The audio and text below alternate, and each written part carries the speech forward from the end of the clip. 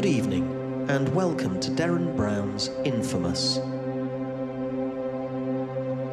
Ladies and gentlemen, please welcome Derren Brown.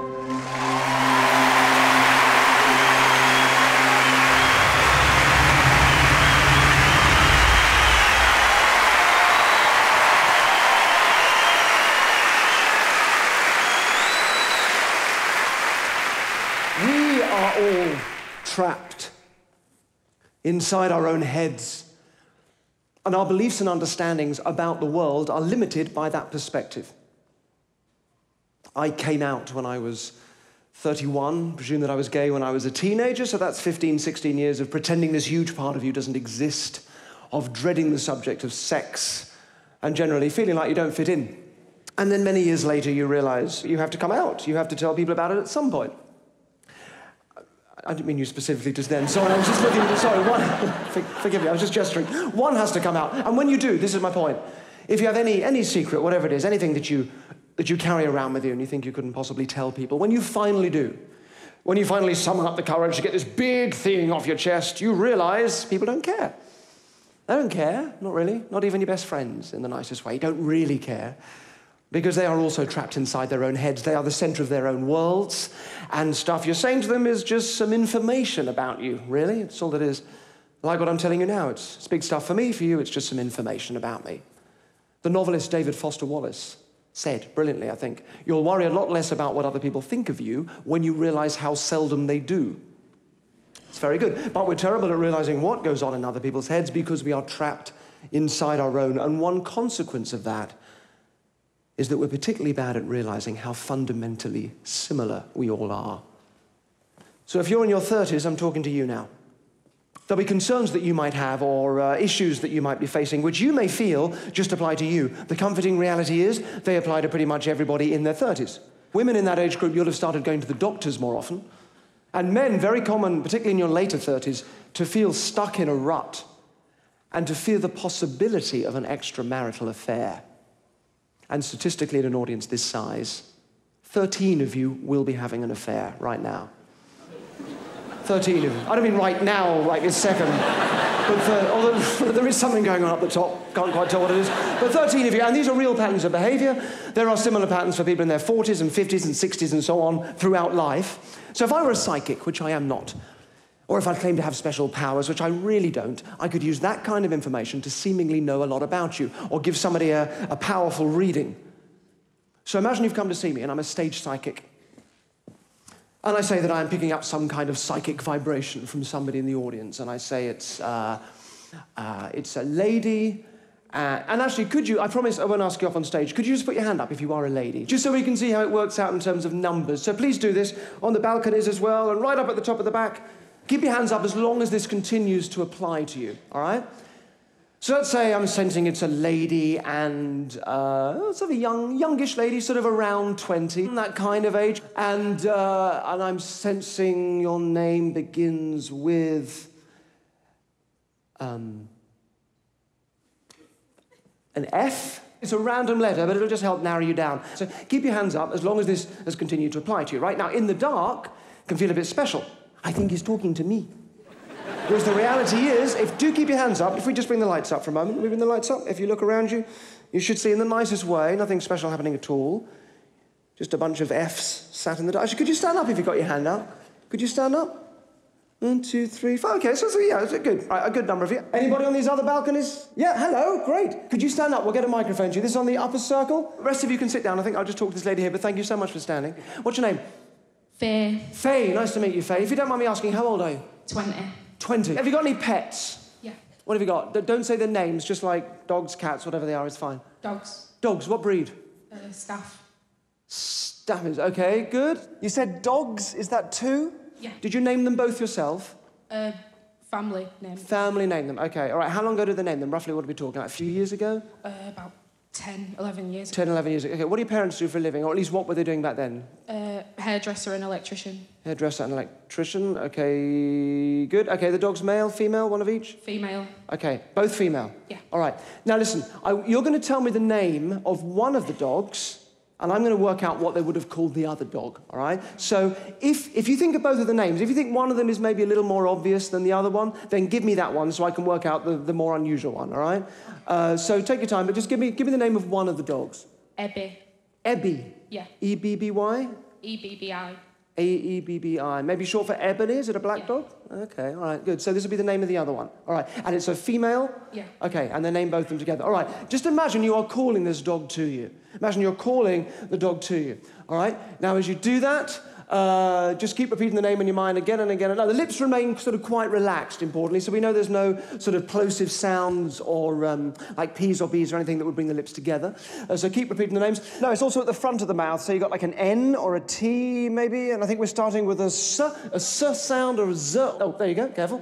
Uh, you don't need to say yes, that's okay. I'll uh, work it out. I appreciate the help, just takes the challenge out of it somewhat. So. Uh, uh, oh, there you go, back up there again. So just keep repeating the name. Just shout the name, Not, nothing out loud, but in your mind, just shout the name, like you're screaming, screaming to this dog to come to you, right? Louder and louder until you are. Oh, no, they uh, called it Xena. Xena with an X, like the princess. Yeah. Well, yeah, thank you very much indeed. Great, take a seat. Well done, thank you. so, thank you so much. So this is. This is genuinely specific information, right? Not just things that would apply to everybody. So let's keep this really specific. Put your hands up now if you're a man aged between 28 and 35. Put your hands up. Keep them up if you are in the earning group 20 to 50K. And then keep them up if you've been in a relationship for at least two years. Otherwise, drop your hands. All right? Good. Okay, we get the lights up. Let's choose one of you. I'm going to choose from downstairs. So upstairs, you may drop your hands. I'll come to you in a moment. Uh, let's keep your hands up downstairs. All right, wave your hands so I can see you, so I can see more clearly.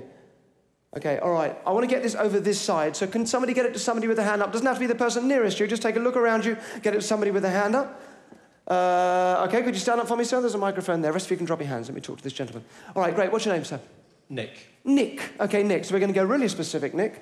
I want you to think of a word, an English word, ideally at least at least four letters, but it doesn't have to be. If you want to go shorter, that's up to you. But have you got something? Yeah. Yeah. Okay. Now, whatever you're thinking of, Nick, is the first word that's just come into your head. And I've just stood you up in front of 2,000 people and asked you to do that. I don't want you going home later saying to yourself, he, he just put me on the spot. I didn't get a chance to think. I bet everyone just thinks of the same word. So, right now, Nick, is when you change your mind again and again and again so you don't have that excuse later on. All right? You can imagine if you like, you're looking through a dictionary. Uh, maybe you come across an unusual word, maybe not too unusual. Maybe that in itself would be quite predictable. Just take your time, uh, have a look through it. You've got 26 letters of the, to look through. Take your time until you come across a word you're absolutely happy that you, I could not just rely on everybody thinking of. Have you got something in your mind now? Change your mind as many times as you like. Yes? Yeah, I'm happy.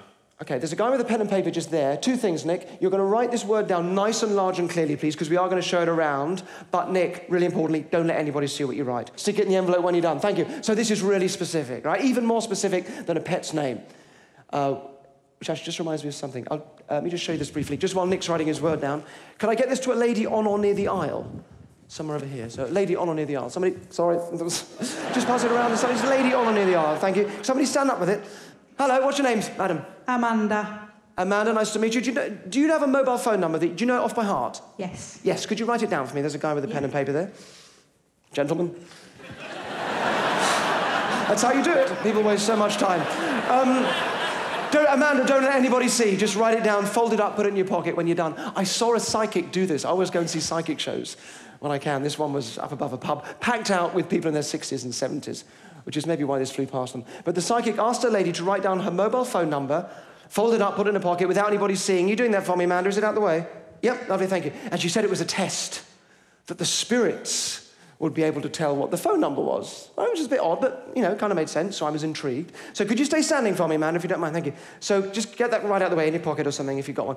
Thank you. So she, and obviously, you know, you try not to be um, judgmental or, you know, but you try and keep an open mind. But I swear to God, she goes, um, she goes, All right, love, I'm getting your grandma. She's coming through. Does actually sound like her now. I've said that out loud.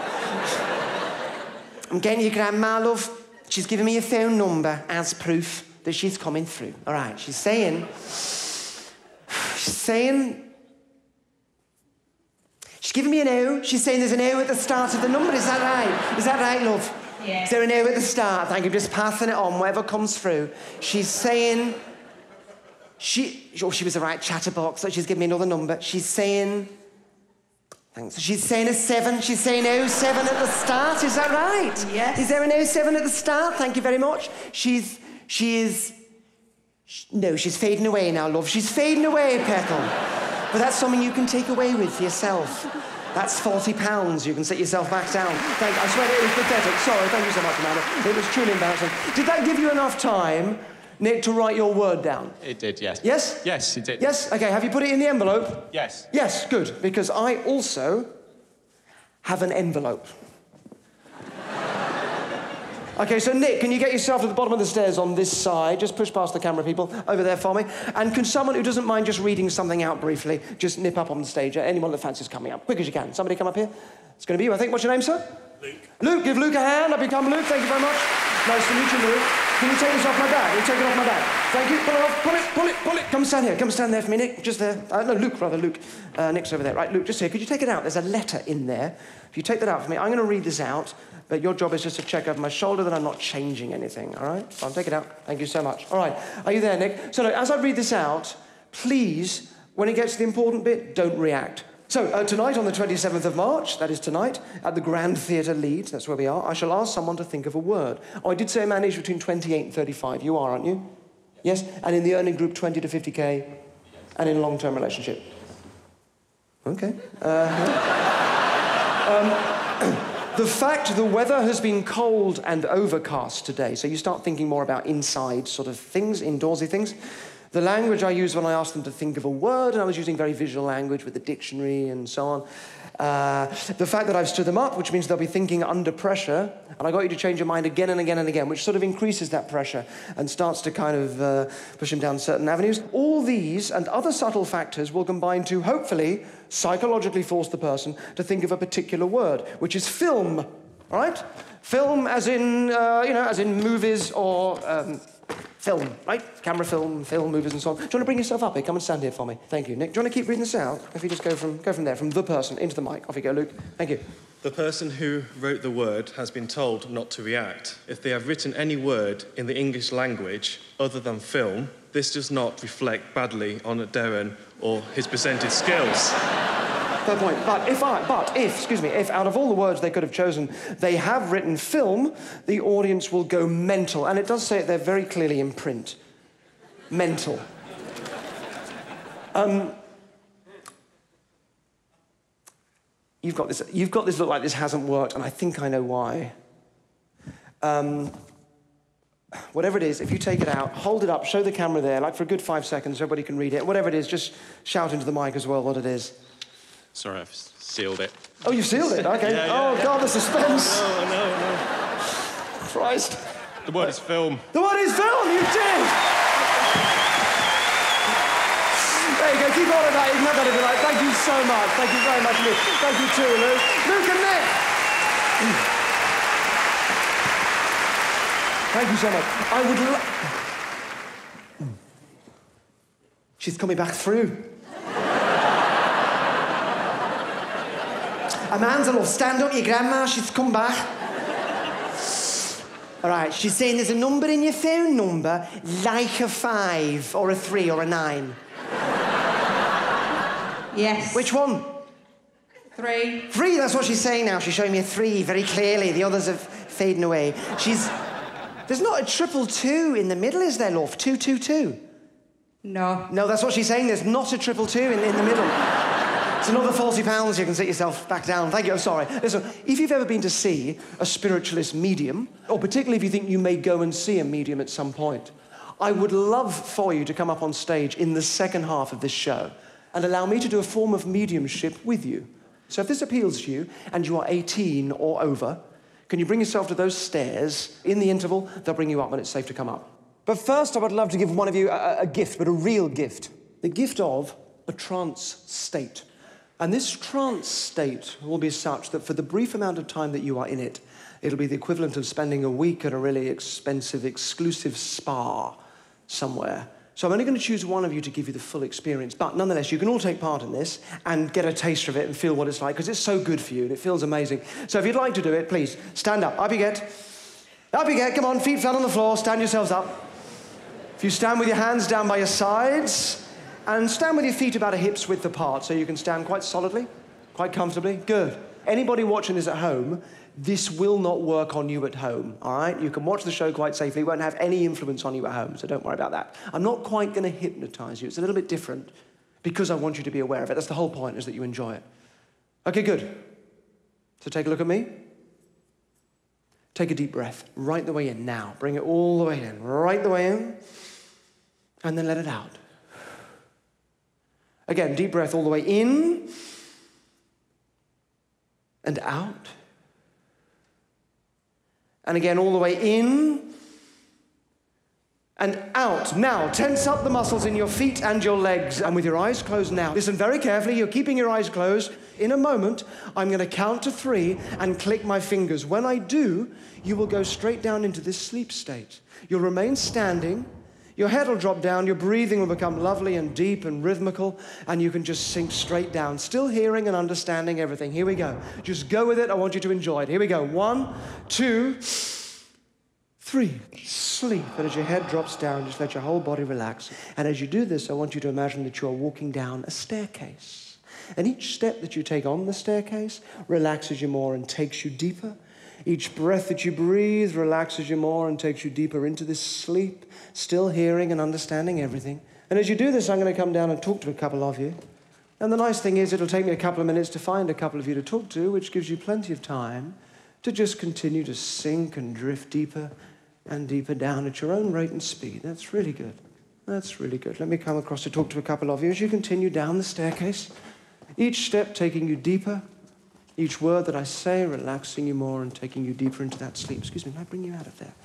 Good. So I'm just going to talk to a gentleman here. I'm putting my hand on your shoulder. You'll know that I'm talking to you as you carry on sleeping. I'm going to bring your arm out here. We're going to lock it into place. So clench your fist and lock that arm tightly into place. Now, tighter and tighter, locking it tightly into place. That's good. So tight. Now that when I take my hand away, it just carries on locking all on its own, tighter and tighter into place. You see, the more you try to unlock it, the more it just keeps on locking, tighter and tighter. That's good. Until I touch you on the hand again. And when I do, it'll be released. And as it comes down, you'll just sink and tumble and fall so deeply down into that sleep now, right the way down. I got you right the way deep and right the way sound asleep, just drifting and sinking down. That's really good. Excellent. Very good. Thank you. So, in a moment, I'm going to count backwards from three to zero. And this will wake you up. It'll bring you up and out of the sleep. And very importantly, I'm talking to you all as a group, but I'm also talking to each of you as an individual. I'm talking to the deepest part of your unconscious mind. Three, here we go. Waking up has never felt so good. Two, and one, and when you are quite ready to be fully wide awake for the rest of the evening, zero, you can open your eyes, come back to us, be fully wide awake, take a look around you. Feels good, doesn't it? Enjoy that. Nice, isn't it? Yeah. Hi. Hello. Great. So, uh, take a seat. Apart from you, what's your name? Adam. Adam, lovely to meet you, Adam. Give Adam a big hand. Could you take this off? Just put that on your chair in front of you. Uh, give Adam a hand as you bring him up. that you come, Adam. Lovely, happy grandmothers. Thank you. The rest of you can take a seat, Tommy. Thank you, madam.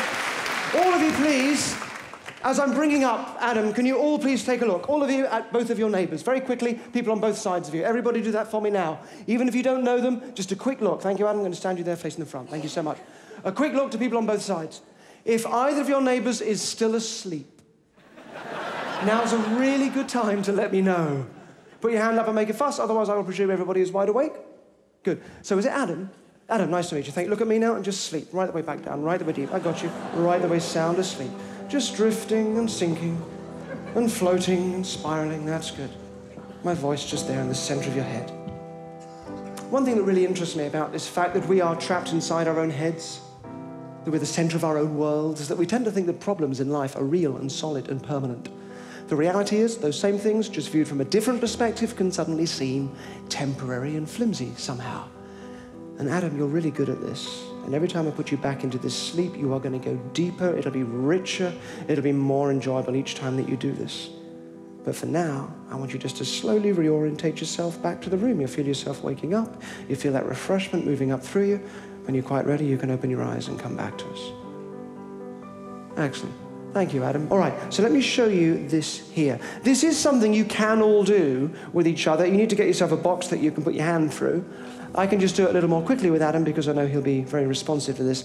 Adam, I'm going to put something in this box. I don't want you seeing what it is. So if you don't mind, just face the front and just, just close your eyes, just so you can't see. It's nothing, uh, it's nothing unpleasant. It's a very ordinary household object. I just don't want you seeing what it is. Okay. Okay, Adam, you can open your eyes now for me, thank you. Can you put your hand flat on top of the box? Maybe take a sideways step towards it as well. Please don't look at what's in there. Thank you. All right. So in a minute, I'm going to get you to lower your hand into the box and find the object. You will probably tell what it is pretty quickly, but it's not really about you identifying it. This is just about you paying attention to kind of the sensations that you get and how you interpret them, okay? So lower your hand in for me. Find the object. First question, how would you describe the temperature of that object? Room temperature. Room temperature, yeah. good. And if, if you squeeze it, would you say it was sort of soft or hard or squidgy or...? Slightly plain. Slightly plain, okay. Hard, yeah. Very good. Now you're lifting it up. Is it light or heavy? It's light. Can you tell what it is? Apple. It is indeed an apple. Great. So leave the apple where it is. Bring your hand out for me, Adam. That's great. Thank you. Hand by your side again. Would you close your eyes again for me, please? Just face the front. Thank you. Good. You're doing great. This time, I'm going to cover the front of the box so none of you see what it is. So you keep your eyes closed to me as well. Good. Uh, give me just a moment. You're doing great, Adam. Okay, you can open your eyes for me. Hand on top of the box again. This time, um, we'll do it a little bit differently, and I would invite you to join in with this if you like. I want you to think of something in your life, Adam. I won't ask you what it is.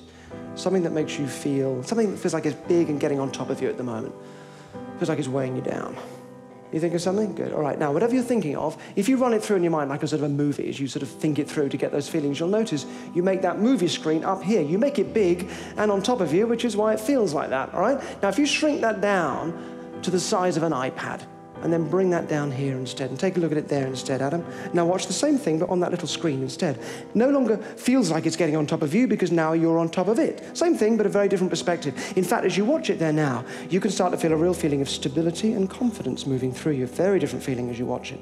And that can expand up into your chest and shoulders. That's good. It can feel really good as you start to feel like a giant towering above this thing that used to feel like a problem as you feel like a colossus towering above the stage. Good, solid and confident. That's good. Lower your hand into the box now and look at me. Look at me. Fingertips. All right, just with your fingertips, find the object. Just very gently. Try and keep looking at me as you do this. Find it in the middle there. First question as you move your fingers along it is what would you say it's made of?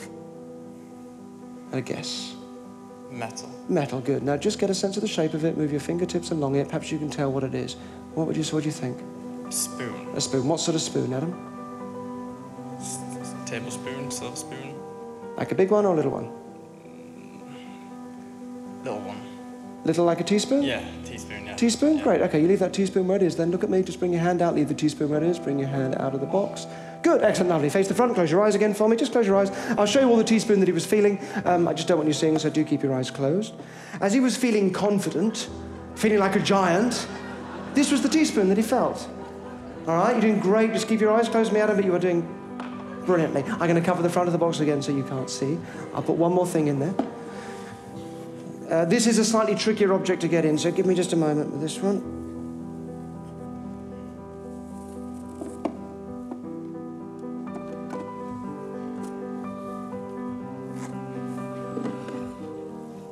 Yeah, okay, keep your eyes closed. It's a little longer, Adam.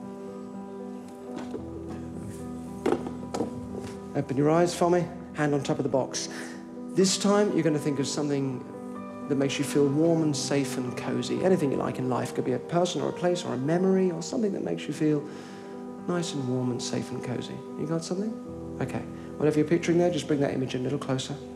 Make the colors softer and fuzzier. That's lovely. Just keep that feeling there. And look at me again. Lower your hand into the box very gently this time. Absolute fingertips, all right? Absolute fingertips. Find the object. And then really gently, maybe let your hand move underneath it a little. Let it move onto your hand a little. Get a sense of, would you say it's light or heavy? What would you say now? Light. Again? Light. Light, very good. Now, more complicated shape this time, Adam. So take your time with it. You might be able to get a sense of what it is if you take your time and feel the shape of it and the contours. What do you think it is? Glove. A glove? Yeah. What sort of glove? Like a woolly glove or a leather glove or a... A woolly glove. A little louder, please. A woolly glove. A woolly glove, great. You leave that woolly glove where it is then, please. Bring your hand out for me. Bring your hand out. Very gently, let it. Good, lovely. Hands by your sides. Close your eyes again for me. Thank you, and I'll show you all the woolly glove that he was feeling. I just don't want you seeing again. So, perhaps we can get that. thank you. Could you take that for me? Lovely. Great, thank you. Open your eyes, face the front for me. Good. Clearly an odd reaction for you, I realise. Thank you. Uh, clearly they were seeing something there that, that that you weren't seeing, I realise that, um, but I'm sure your friends will explain to you what happened when you join them again. Come forward for me. Um, so, uh, point is, you're very good at this, Adam, right? And I'd like to give you this trance state as a, uh, as a gift. But this is going to happen in the interval, is that all right? Oh, yeah, yeah. Who are you with here tonight? Uh, my mum and my sister. Your mum and your sister, okay. Um, what's, what's your mum's name? Christine. Christine, all right, I might talk, talk to her in a moment. Have you got a mobile phone on you at the moment? I do. Okay, can I'm going to take that for a moment. Yeah. I will give it to you, Mum, in just a second as well. Thank you. All right, could you sit yourself up here for me? You're happy to do this in the interval, yeah? Yeah. Great, lovely, okay. we'll look after your mum and sister. We'll get them a drink as well. We'll make sure they're taken care of. Just swing your legs around for me. And then, yeah, and then lay back as well. So we check, one, check the pillows in the right place and you're comfortable and uh, just get yourself comfy. All right? And put your legs out and good. Now sit yourself straight back up. Happy get, happy. So, um,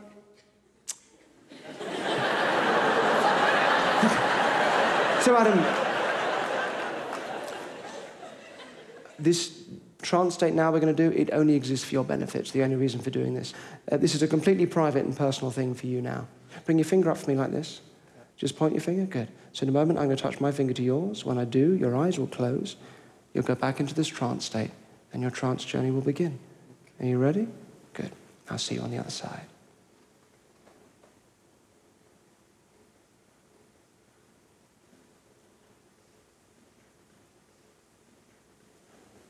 Excellent, Adam. That's really good. Thank you. And Adam, you can now just sleep. And as you sleep, you can drift and sink back down that staircase. As you sink deeper, everything else happens a hundred miles away. And just to make sure that your experience is really kept quite separate and private and detached, we're placing a sort of cocoon around you just to make sure that your experience is kept quite separate as you sink deeper and deeper down into that trance state and everything else happens 100 miles away as you continue down that staircase. That's really good. So I can talk to all of you, and Adam can hear me. It just doesn't distract him as he sinks deeper down into his trance state. Uh, his mum, Christine, could you stand up for me? Where are you? Over there somewhere, I guess. Hi, Christine. So I'm going to ask you to draw a picture. Um, there's a couple of things that are important, so please, I, I want you to understand this. First of all, it needs to be a drawing of something that is a real-world physical object, something you could actually touch, as opposed to just like a geometric shape or a design or something like that. Does that make sense? Okay. And if there's anything else that you just think that Adam might think that you personally would draw for some reason, then ignore that as well. All right. Can you think of something suitable now? Yeah, perfect. All right. Whatever you draw, there's a guy with a pen and paper at the side there. When you've drawn it, Christine, can you write underneath what it is then you won't worry about how accurately you've drawn it as well. So write what it is, but don't let anybody see, including the guy with the pen and paper and none of the cameramen or anything like that either. When you've done it, remember, write underneath what it is and then seal it in an envelope. You should have an envelope there as well. Thank you, Christine. If you can go and do that for me now. Thank you. So um, while Christine's doing that, let me explain what's going to happen next. We're going to take an interval. If during this interval, you would like to come up on stage in the second half, if you have a genuine interest in the possibility of mediumship, please bring yourself to the bottom of the steps on that side there. They will bring you up in the interval when it's safe to come up. When you do come up, take a look at Adam, he's sleeping quite soundly, and then come and sit yourself down. Uh, did that give you enough time to draw your picture, Christine? Yeah. Great, could you bring yourself up here for me? Thank you. Great. So, first of all, I'm just going to give you Adam's phone. I just took off him up there, so you've got that. Thank you. And can you write your name for me? Um, in big letters, you can lean on this if you like, but just um, right where you've sealed it, right across that join, so you know it can't now be tampered with, right across the join. Thank you, Christine. Lovely, thank you. I'll put that there. Thank you, and you take his phone. Thank you. So come over here for me. Come and take a look at your son. He's sleeping quite soundly. There's a couple of things I need to ask you to do, and they're both really important, all right? First thing is, you have to keep that a secret. Now, no one saw what you drew, did they? No, great. So please keep it a secret. Don't even tell your daughter that you're with her as well. Absolute secret. The other thing is, every two or three minutes throughout the interval, can you please remember, in your head, just say to yourself, Adam, I drew a, and then whatever it is, as if you were kind of whispering in his ear what it was. But that isn't out loud, that is just silently in your head. But you must do it. You promise to do that, even though that sounds a bit odd. All right, lovely. Thank you. Well, there'll be an usher to take a drink order for you both, and we'll make sure you're taken care of. But thank you so much. And I'll speak to you in the second half. Thank you, Christine. So I'm hoping that while Adam sleeps, that he'll be able to intuit at some level what his mother has drawn and sealed into that envelope.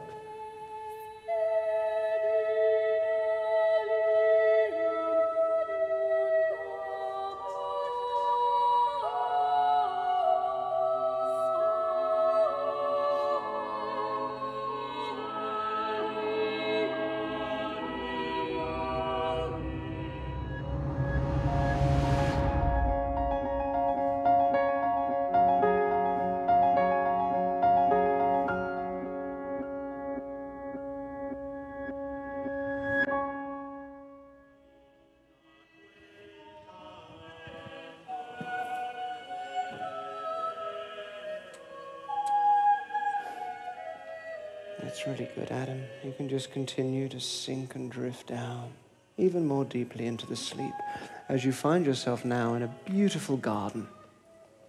And as you lay on the grass, and as you feel the warmth of the grass beneath you, and then the fresh air as the breeze blows through the garden, keeping the temperature to the perfect level. And as you do this, I'm going to bring your hands up onto your chest, which will actually help you sleep even more deeply. So I'm going to bring them up here as you continue to sleep. Good. Thank you. Excellent. Just need to get to your stomach, so I'm just going to roll your t-shirt up a little as you sleep. I'm just going to bring this up here and tuck it in. Good. Thank you. Thank you.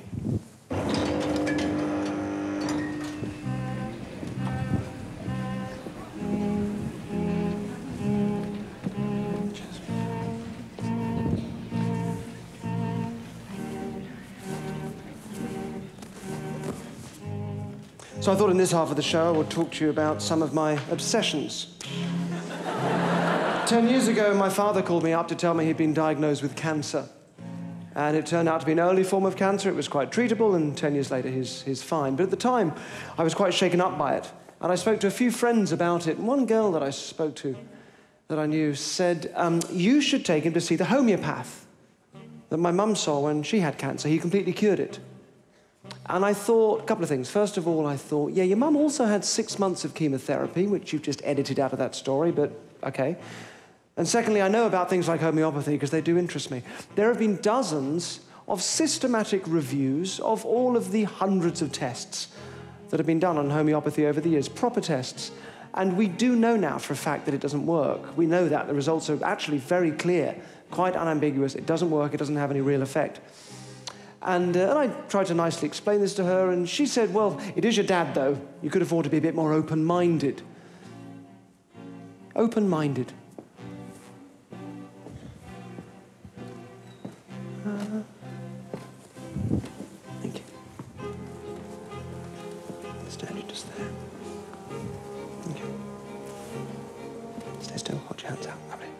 In the Philippines, if you have cancer, there's a form of treatment available to you where the surgeon, without using any instruments or any knives, uses psychic vibrations to enter the body of the patient.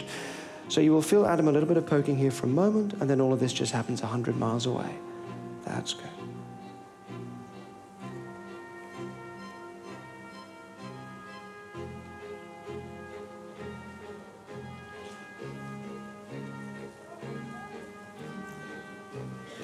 and removes from inside any cancerous tumours or demonized parts.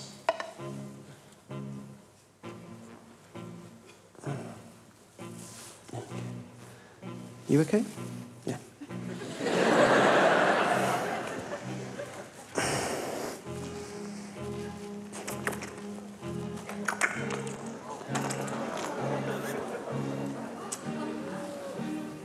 Thank you. Would you uh, sit yourself back down again? Thank you course, it's a conjuring trick. It's a really ugly scam called psychic surgery. And sometimes, rather like with homeopathy, sometimes people do get better, surprisingly, either because they were just going to get better anyway, or because of the placebo effect, which just means that for some people with low level conditions, their belief that this is actually going to help is enough to create a genuine improvement, which is great for those people. But clearly not the same as saying that this is uh, an effective treatment or something that you'd want to use instead of medicine that does actually stand up to testing, let alone anything, sadly, that's ever going to help cancer. But hey, got to be open minded. Being open minded, it doesn't mean just believing everything because you'd like it to be true. Being truly open minded is about being prepared to change your beliefs based on the evidence or the lack of evidence. Otherwise, you can be so open minded that your brain falls out. Hold that thought going to come back to it. Thank you, Adam. That's really great. I'm going to bring this back down now. And Adam, you can now take all the time that you need to completely and slowly wake up out of the trance. You will feel this refreshment move right the way through you, right the way to the top of your head. And when you're quite ready, you'll find that your eyes will open all on their own and you'll be fully back with us. Take all the time that you need. Hello. Hi. Just want to sit yourself up. Take your time. Just slowly sit yourself up. Don't worry about any blood on the sheets. That's fine. Just up you go. swing yourselves around. Just swing your legs around that way. Just, just pop yourself there for a moment. Um, let me get you some water. You've got a bit of a dry mouth. I get your microphone as well. Uh, there you go. I haven't touched that one. There you go. Have that. Can I just get this in there? Can I just move your leg there for a bit? Um, so you were great. How, what's it like coming out of it? Feels pretty good, doesn't it? Yeah. Yeah. Bit sort of spaced out, but it feels good, yeah? There's a bunch of people up here behind you, by the way. This is the second half of the show now. um, so great. Listen, oh, one thing. Um, do you remember this box? We could bring this box out again from Adam. You remember how you, you had your hand in this yeah. box before? Um, so look, if you look through the front, you, it's important you look, you'll see there's nothing in there. And you can all see from the back there's nothing in the box, right? So put your hand flat on top for me, Adam. Yeah. So look, there's nothing in there, right? But in a moment, you're going to lower your hand in. And as you do, I'm going to count from one to five, and you will feel something inside the box. Something will come from the back of your mind down to your fingertips. You'll be able to feel it in the box. You'll be able to describe it to me. And you'll do a really good job of describing that to me. So here we go. Lower your hand in now as I count. Look at me. One, two, three. There you go. Four. That's good. Five. So, your first question, Adam, is this thing that you're feeling, does it feel like something living or something man made? Man made. Man made. Okay, good. All right, so take your time with it now. I just want you to carry on just describing, just describe to me what sort of surface. Does it, can you tell what it's made of? Is it like solid? Is it plastic? Is it furry? Is it what kind of surface you're getting? Like plastic. Like plastic. Okay. Yeah. Can you describe maybe its shape to me, or what your sort of uh, what's it like? cylinder. Okay, great. Yeah, but not really cylinder. Go on. it's sort of cylindrical, sort of, yeah? Yeah. Go on, so keep going, keep talking me through it. What are you, feeling, what are you feeling at the moment? Spikes on the back, or something like that. So it's like cylindrical but with spikes. Can you, can you recognize it as being anything? feels a bit like a, um, a plane. Oh, like a, like an aeroplane. Yeah. Okay. What? Like,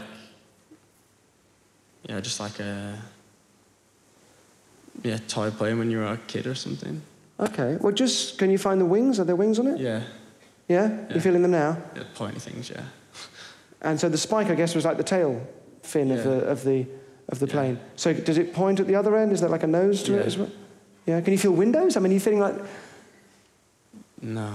You're not getting windows. Okay, no. but you're getting the shape of a plane. So what's so you've got the nose at the other end. Yeah. Do have a look at it as, you're doing this because it's really interesting. If you look at it, you'll see there's nothing. You know, you know there's nothing there. I'm sure, but you can see. What's that like? It's weird, man. and you can all see from the back there is nothing. You can see there's nothing in there. So is there anything else, or is it just an aeroplane? No, I can just feel an aeroplane. Okay. All right. Well, why don't you leave the aeroplane Just Bring your hand out for us.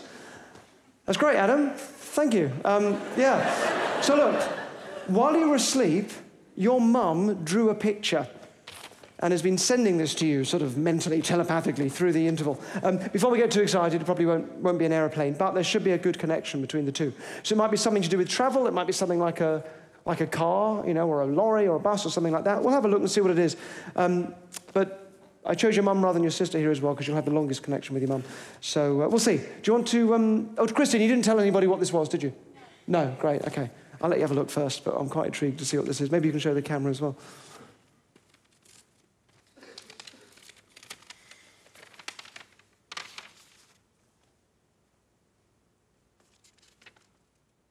Ooh, ah, that is absolutely spot on. well done. Let me just show the camera again.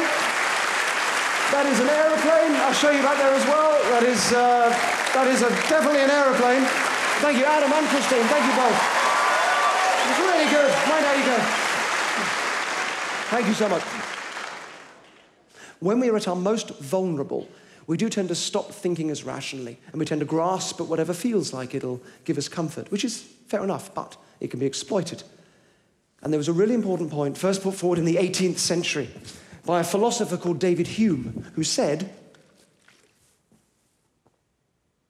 extraordinary claims demand extraordinary evidence. And all that means is if you are claiming something that's extraordinary, so something that flies in the face of science, like talking to the dead, for example, and you wish to be taken seriously, firstly, you have to come up with the evidence yourself to back up your own claim. It's not enough just to insist that other people have to try and disprove it which you can never do. You can never prove that something isn't true. That's trying to prove a negative. So it wouldn't work anyway. So you've got to come up with the evidence yourself to back up your claim. And it's got to be really strong evidence because your claim is so strong. So, if, for example, a magician saws a woman in half every night on stage during his show and then starts saying, That isn't a trick, I do it for real. I really do it. I take a woman, any woman, I can do it with any woman. I saw in half, I use any saw, I pull her into two, and then I put it back together and I heal her up and I'm doing it for real, it isn't a trick, and expect you to believe him, you would say, well, come on, you've got to come up with some pretty strong evidence that you're doing that for real. If you said that, and then he said, you want evidence? Come see my show. I do it every night. That doesn't count. That's not evidence. That's the very thing you're questioning, right? So you would say, well, no, that's all on your terms. Come do the same thing under controlled conditions, and then I'll absolutely believe you. That just means, you know, conditions that are fair for everybody. So if you say you can do it with any woman, we'll provide a woman. Great. If you say you can use any saw, let us provide the saw, and so on. And if you set all that up and make it absolutely fair for everybody, and then he says, well, I'm not going to do it now because you're skeptical and the energy's all wrong, you can say, well, stop wasting our time, you big baby. So with that in mind, you're all up here because you have a genuine interest in the possibility of mediumship. I would love to show you how it is possible for me or somebody with a similar skill base to seemingly know things about people that you've known who have passed on without, and I promise you, any psychic ability, let alone any contact with the dead. Are you happy for me to do this, first of all? Yes? It won't be with all of you, it'll be with a tiny handful of you, but I hope nonetheless that you all take something from this, all right? And we don't know each other, do we? We do not know each other. For that reason, you've written down your first names on cards, which have been collected here in this bowl. So thank you so much for doing that. I'll be plucking your names out as we go along, so I don't know who I'm going to get. Thank you. Um, and also, as we do this, I'm going to write things down on bits of paper, on cards, rather, um, which will get projected up onto the wall behind you. Please don't look at what I've written. I'll show you, but only after you've given your answers. And just have a quick check. It's always worth doing this nowadays that I'm not wearing any sort of earpiece. Can you see in my ear there? Mm -hmm. Nothing there. Happy with that one, too? All right, it's important you know I'm not being fed any information. Not that it would help me anyway, all right, as you'll see. Okay, with that in mind, let's begin.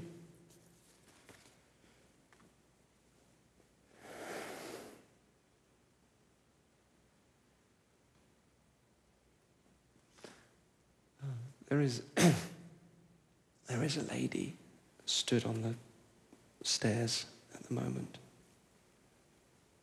about halfway up. She's got her hand on the railing. She's wearing like a pinky blue um, jumper with a V neck, probably in her 50s, maybe. I'm going to ask her to come down.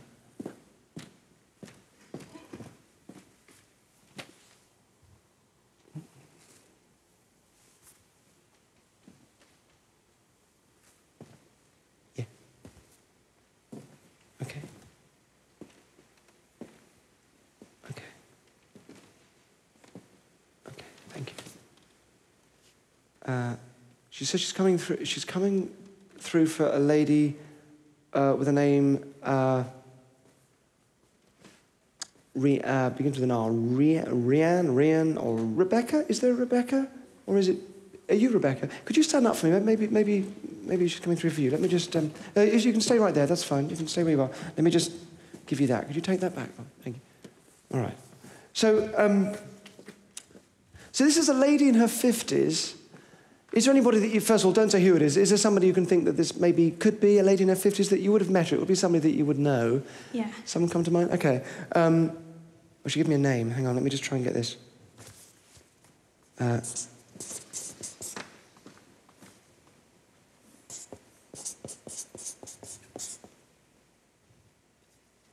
uh, I'm guessing she might have been perhaps, I don't know, maybe grandmother or something like that, or, yeah.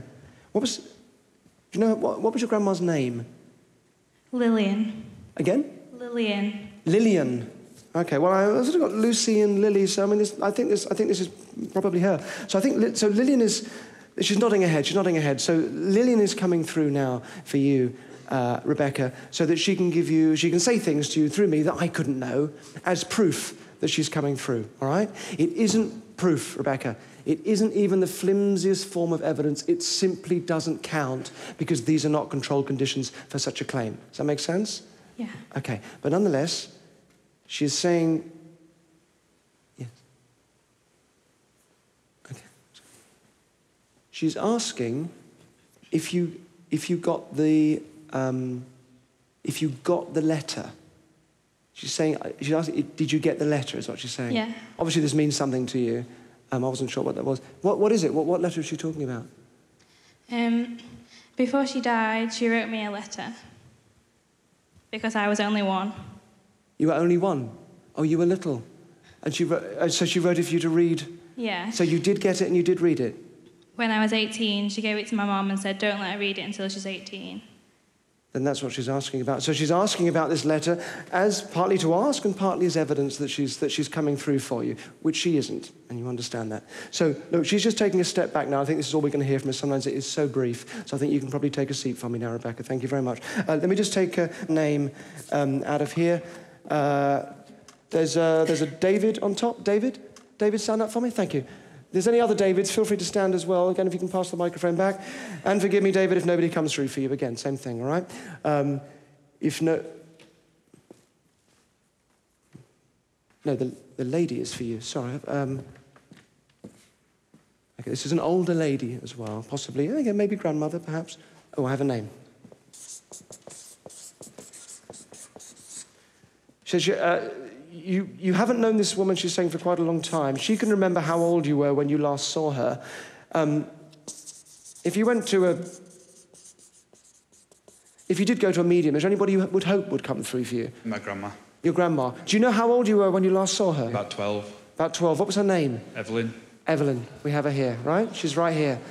Uh, if I think back to my grandmother, I can remember like things that happened to her. Is there something you can remember or something you were told about your grandmother? Something I could ask, something that wouldn't happen to everyone's grandmother or something not everyone's grandmother would have done? Yeah. Okay. If you can think of that for me, I'm going to ask her to tell me something. But what I find happens in these situations is that she will tell me exactly the same thing that you're thinking of because of the connection between you two at the moment, right? So let me ask her just something that happened when, she, when you would have known her. Okay, she's, she's telling me, um, and she isn't telling me anything, you understand this? I'm making this up, I'm lying to you. she's telling me, uh, I'm going to write this down here.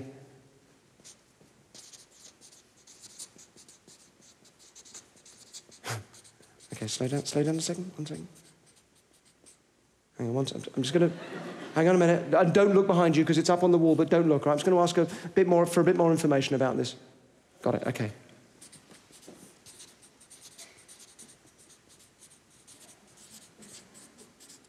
All right. Where did your mind go? When I said for you to think of something that happened, what, what did you think of? Um, a story my mum told me about my mum and my grandma when they went on holiday. Where did they go? They went to Gibraltar. Well, they went to Gibraltar. What happened? Well, I think they went to Spain, but they went to Gibraltar for a day trip. What happened? She got bit by a monkey on Gibraltar Rock. this is precisely what she's told me. Again, I got bitten by a monkey at uh, Gibraltar Rock. She's heading back. I'll take what I've got. Probably just got time for one more. Uh, oh no, I won't. No, somebody is pushing their way forward. Okay, this. Um, uh, okay, I have a lady. There's probably quite a forthright character in life. I would think this is a lady in her seventies. I would think early seventies, asking for. I'm sorry for jo- uh, Georgia, Georgina. Is there a Georgia or a Georgina? Could you stand up for me? Thank you. Um, this is a lady in her 70s. Um, I was going to just get a. Have you got the microphone? Can we pass the microphone across? Uh, so, this is a lady uh, in her 70s. Again, have a little think. I've got a name. She's given me some information about herself. Uh, she says, uh, Could this be um, grandmother as well? You're thinking? Yeah. Uh, she's got. How old? You may not know. Do you know how old your grandma was when she died? I think she was 72. And her name? Doris. Doris. Okay. Again, yeah. we have her here, which we don't. All right. Is there something um, she's saying? I've got a few people coming up on both sides now, which is making this a little bit tricky. But I just want to focus on Doris here for a moment. Um, she's saying she uh, she got sort of brown hair, which is probably maybe unusual for a lady in her 70s, is that right? Yeah. She, um, she didn't, she's not, not grey. No. Unusually, not grey hair. I can see her, she's very clearly here, which she isn't, again. I've got um, people coming up on both sides. Uh, she says she had a dog, that you'd remember her dog. Yes. Is that right? You'd remember her dog, you liked her dog. People coming up on both sides. I've got a lot of, I think anybody now that any of you were hoping to contact, I now have coming up on stage on both sides, as well as the deceased friends and relatives of 2,000 people behind me. I also have making their way up both sides uh, up here onto the stage. They're all talking at the same time, but I want to get this right because they're all saying the same thing. So let me just, I just want to get this right. It's obviously important because they're all saying the same thing. Okay, thank you. All right, I've got it. They are saying if they ever get the chance to communicate with the living, they promise you they will not do it through some needy showbiz performer. They promise you that. No one has the right to trample on your memories of people that you've loved. It's, it's just disgusting. Did you know her dog's name? Zelda. Thank you so much, all of you. Thank you so much for letting me do this. I really, really do appreciate it. Thank you so much. Thank you.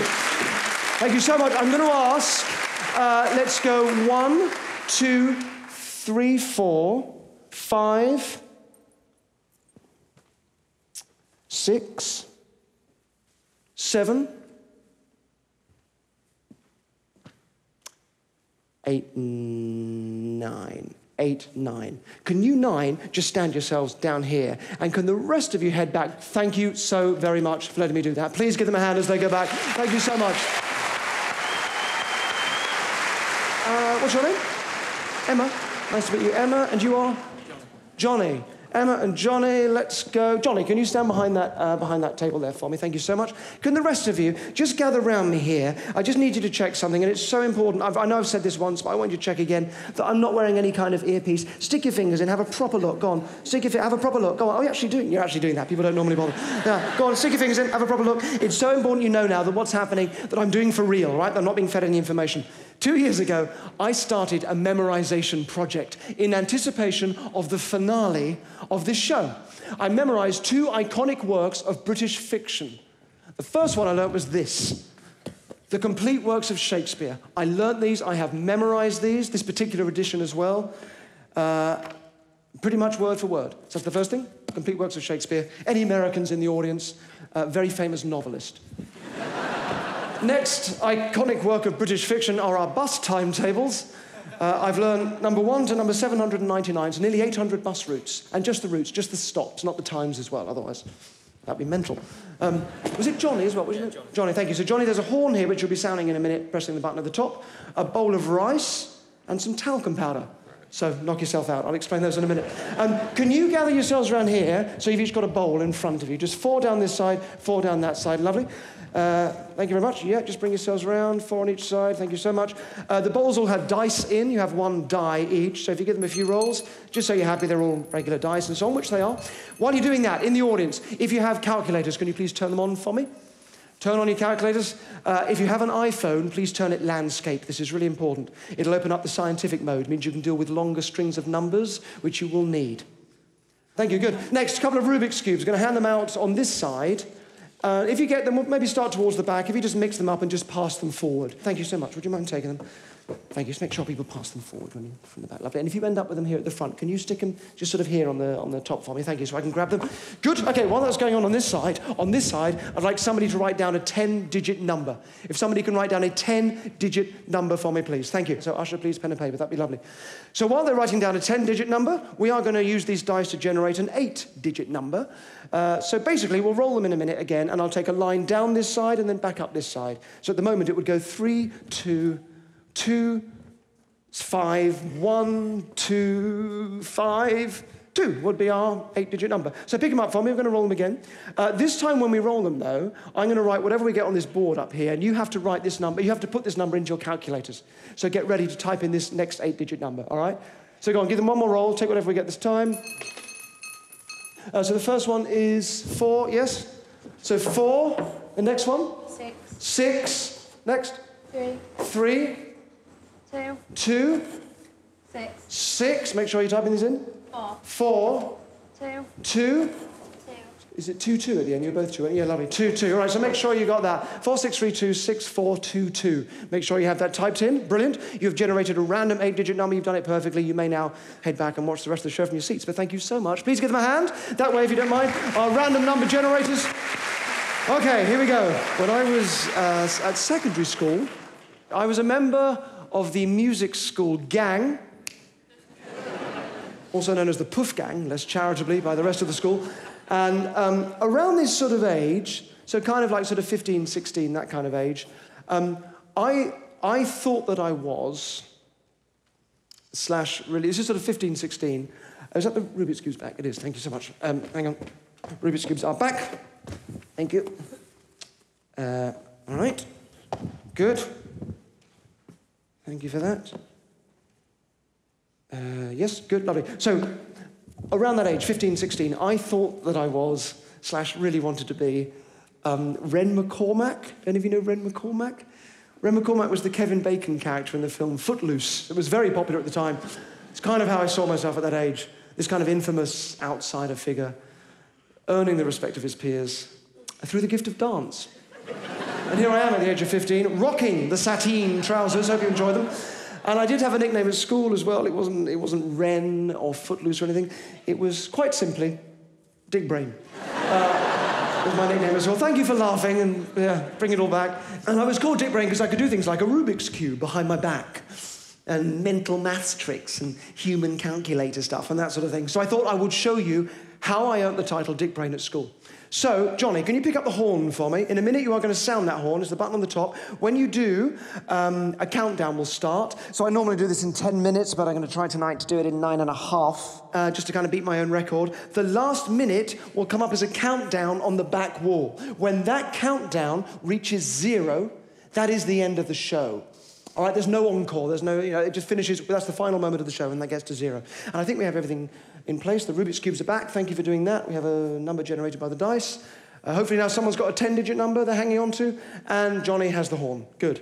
Okay. uh, when I give you the signal, in a minute, nice and loud and clear.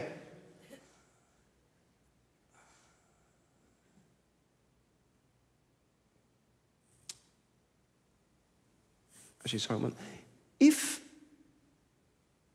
or a lot of, a lot of you will still be at school or um, college, university even. If you are a bit of a dick brain, or you're just made to feel like one every day when you go in, can I just promise you that all of those really cool kids, the, the sporty, cool guys and the skinny, pretty girls, all grew up to have the most boring adult lives and jobs because they never had to forge their own path when they were younger. They never had to find their own way when they were little. And if you are having to do that now, it is tough. But I promise you, you grow up to have the most brilliant and creative adult life.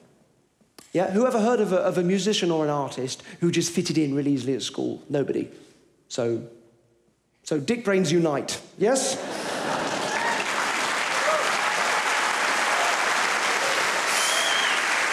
okay. Thank you, Johnny. Sound the horn on the count of three. I was going to. Sorry, put it down. That's fine. Thank you. Put it down. Okay, first dick brain trick. Don't look at them, but it's the numbers behind me on the board, the eight digit number. Don't look at them. Look at me for a minute. Can you remember the eight digit number generated by the dice without looking at them? Okay, you can look at them now. The number is four six three two six four two two. Backwards, 2246364. Most of it would have all is to alternate, so give me a big shout if this is right. Uh, first, last, second in second in, third in third in. I'll, I'll end up in the middle. I'll end up in the middle. It goes 4 2 6 two, three, four, two, six. Yes? Yes, thank you so much. Jesus. Thank you. Next. Next Dick Brain trick is the memorized bus route. So look, these first three digits of our eight-digit number will give us the bus route, all right? 463. Do you want to look it up? It's in the blue book. 463. Uh, now, you do not have a 463 round here, or at least not one that I know. 463. I'm doing here is nearer London. Can you stand in front of the mic for me with it, please? Um, so, if I get this right, just shout out nice, clear yes into the mic. The first stop of 463 bus route is Coulsdon South Station, correct? Yeah. Yes, thank you very much. I, and I have done this. So, here's how you can do it. And by the way, you can feign enthusiasm if you like, Johnny. I've learned 800 of these. Here's how you can do it. You link pictures together. You turn everything into a picture that you can visualize and you link it to the next thing. So you have to turn the number into a picture as well. So that's a little bit more tricky. You do it by turning each digit into a letter. And then you make a word out of the letters. So four, I use an R, because there's an R at the end of four, right? I use an R. Uh, six, I use a, a, a P, because it looks a bit like a, a P sort of on its side, like a P. And uh, three, I use an M, because it looks like a three on its side, right? So you've got RPM. You make a, a picture from that, either by adding vowel sounds to make a word, or I just use a record player because it's RPMs, right? So my image that gives me the first bus stop is a record player, but it's as it's going round, it's, it's making a fan move. It's, uh, it's sort of operating a fan that is cooling. It's cooling um, uh, uh, like a little den, like a work den in a station. Right? This is a weird image, but it gives me cools, den, station, right? It gives me Coulsdon Station, which is the first, uh, which is the first stop. Now, to continue, I just continue with this story in my head. I link to the next image. Nicholas Lyndhurst from Only Fools and Horses, the actor, walks out of the station and down the road. Next stop is Lyndhurst Road, yes? Yeah. Yeah. Uh, and he walks out to a big clock tower, which is being mounted by some animals. That's it, isn't it? It's, it's, it's Clock Tower Farm, but it's a place called The Mount in Clock Tower Farm. No. Pardon? No. Clock Tower Farm the Mount. It's close. Clock Tower Farm, The Mount. That is what it is. What does it say? Clock House Farm. Clock House Farm, the mound. All right, sorry, okay, all right. Then he goes up to it and he paints it green. Uh, Woodcote, Woodcote green is the next stop. Yep. Yeah, I'm just going to rattle through these now. Shout yes for each one that's right, okay? It goes um, Wallington Station, Forecourt. Yep. Wallington Green. Yep. Beddington our church. Yep. Beddington Asda, yep. Beddington Lane, Jessop's Way, yep. Mitchfield, Mitcham, um, Mitcham East Station, yep. the Wide Way, yep. finishing at Pollard's Hill at 6.28 in the morning? Yeah. Yes, thank you so much. I've done this all right. Good, thank you. All right, next one. Next is how you apply this. So here's how you apply it. Pick up the book for me. This is the complete works of Shakespeare. Turn to page 264. They should teach this stuff in schools because it's exactly what you need when it comes to regurgitating information, which is what we need for exams, sadly, nowadays, right? I knew this stuff when I was little, and I don't mean to show off, but I got one of the top marks in the year in the country for English A level precisely by using this technique. Have you got it? Page 264? Yeah. All right, so first word on that page, have a look at it for me. The first word on page 264 is First word is the word hearts. Yeah. Yes. Uh, if I can see it, it goes hearts, comma, and hymen did our hands, new line, unite, commutual with most sacred bands. Yeah. Yeah, thank you very much. I have, I have done this for real. Uh, actually, go to another page. Just do another page. Got a bit of time. Just give me any, any other page. What have you got? What are you looking at? What are you looking uh, at? 453. 453, just look at page 453. Top one on the page. I'll just give it to you quickly. Four uh, is the word. 453. Um, Birds? Yeah. The la- let me give you the last one on the page. Just quickly get the last one on the page is birds. My fair lord, this must be done with haste Horses. Yeah. Yeah, thank you so much. Thank you so much. I'll let you head now. Thank you very much, Johnny. That way, if you don't mind. Johnny, everybody, thank you so much.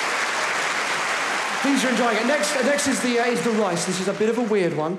Uh, the rice, right? 22. I have to pluck out 22 grains of rice from the bowl in one go.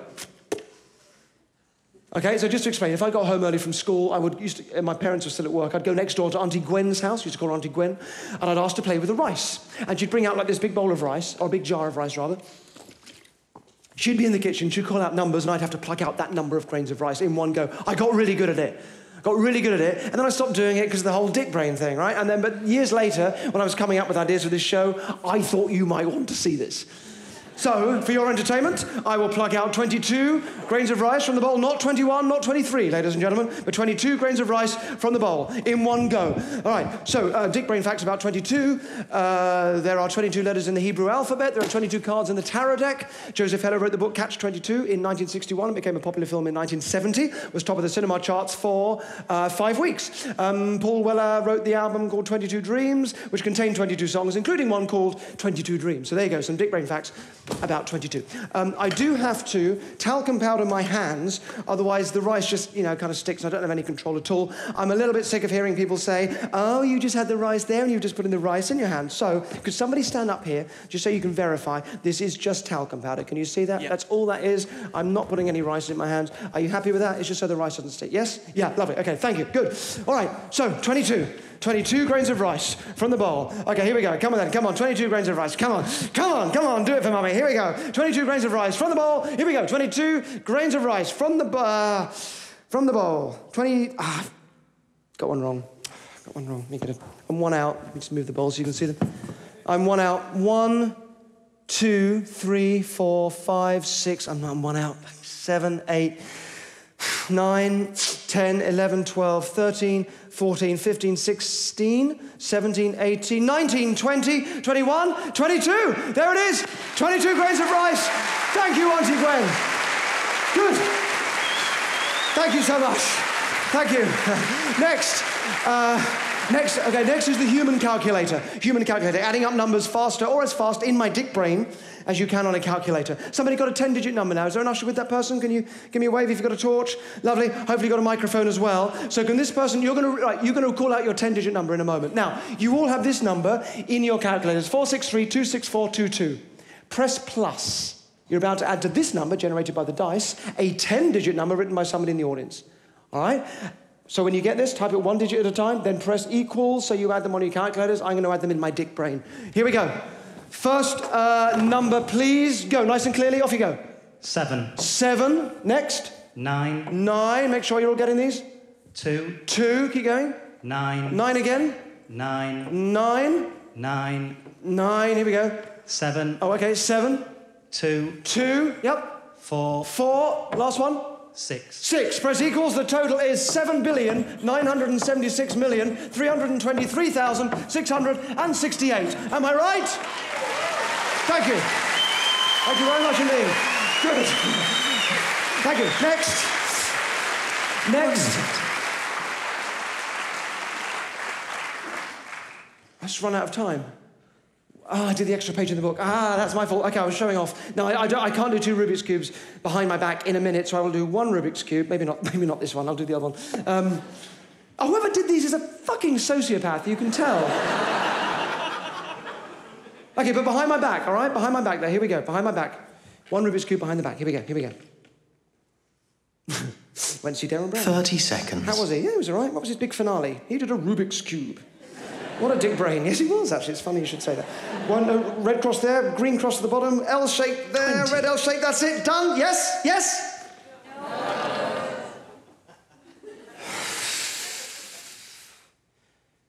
No, I, no, I have Ten, I have. Look, nine, I've matched eight, that side to that seven, side. Can you see that? Six. Five, and I've matched that four, side to that side, three, and that side to that two, side, and one. that side to that side, and those two match there, and those two match there. That's how a dick brain does a Rubik's Cube. I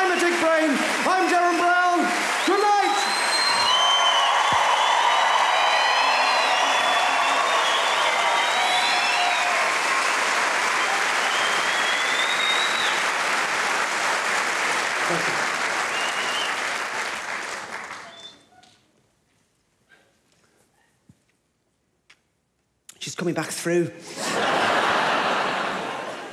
Amanda love, Stand up, grab the microphone, love. Your grandma, she's. She's come back for the end of the show, so I need a nice clear yes or no from you, right? It's gonna be loud and clear. She's saying, I need a yes or no from you. Your phone number, is it? Oh. Oh. Is your phone number? Is it Oh, is your is your phone number 07976 323668? Yes. Yeah, fuck me, I'm real. Good night.